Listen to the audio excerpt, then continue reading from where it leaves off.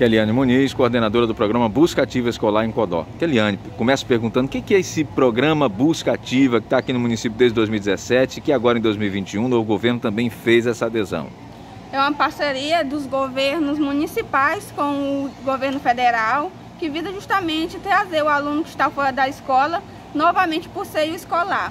É, atendendo às suas demandas, que não dizem respeito só ao acesso à educação, mas também à sua permanência com relação a outros fatores sociais, políticos e econômicos. De janeiro até agora, nós já conseguimos resgatar quantas crianças em torno?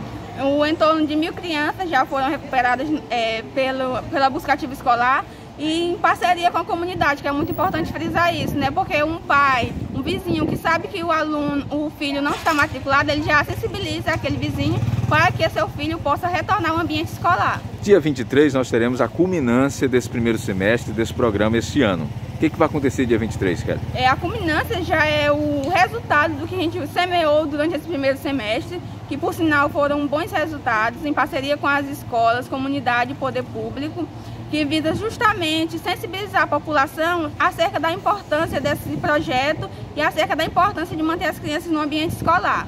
Serão quatro pontos aqui no centro e cada escola ficou livre para fazer sua mobilização? Justamente, a gente deixou a cargo das diretorias que eles vissem a melhor método para chamar a atenção da comunidade escolar sobre a importância de manter os alunos matriculados.